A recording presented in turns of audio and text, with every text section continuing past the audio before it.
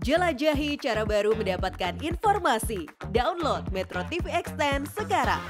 Memasuki minggu kedua proses penyidikan kasus dugaan penodaan agama oleh pemimpin pondok pesantren Al Zaitun Panji Gumilang, penyidik Baris Polri masih belum juga menetapkan tersangka. Informasi selengkapnya akan disampaikan jurnalis Metro TV Sarah Ruhendi langsung dari Baris Polri Jakarta. Sarah, bagaimana perkembangan proses hukum Panji Gumilang hingga saat ini?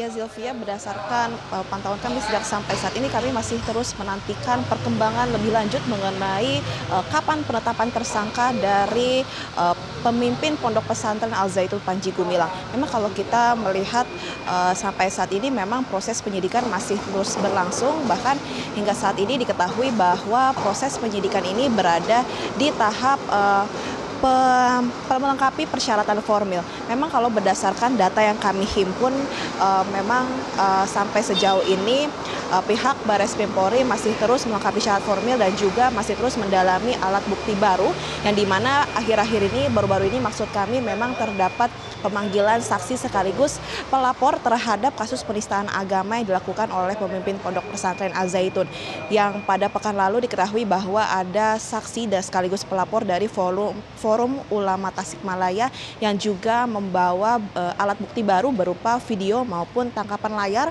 yang menunjukkan adanya uh, bukti penistaan agama yang dilakukan oleh Panji Gumilang. Oleh karena itu, dengan adanya barang bukti baru ini, uh, pihak penyidik masih terus mendalami uh, alat bukti ini untuk mendalami eh, seperti apa bentuk penistaan agama yang dilakukan oleh Panji Gumilang.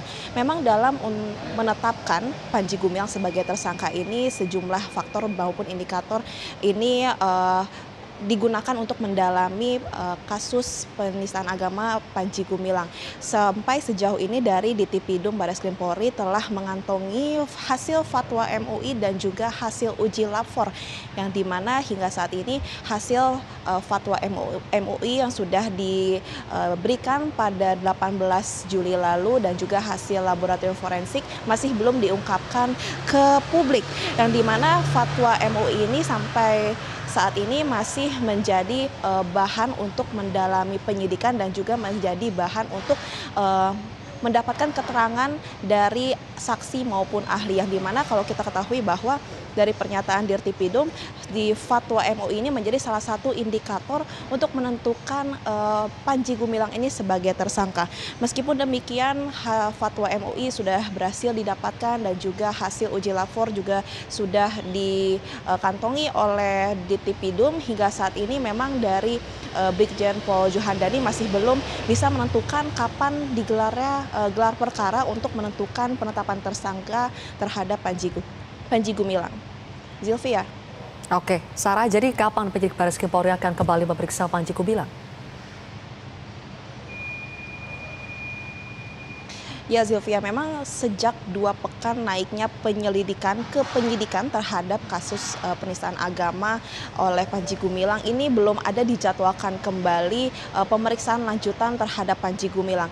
Uh, sehingga sampai saat ini dari pihak uh, penyidik Baris Krim Polri ini masih terus uh, mengandalkan mendapatkan keterangan berdasarkan saksi maupun saksi ahli yang di mana sampai saat ini sudah ada 30 uh, saksi dan ahli yang yang diperiksa oleh penyidik Baris Krim Polri. Meskipun demikian dari Karopenmas sendiri menyatakan bahwa nantinya akan ada pemeriksaan lanjutan terhadap pemilik pondok pesantren Al Zaitun ini apabila uh, proses penyidikan terhadap kasus ini sudah rampung.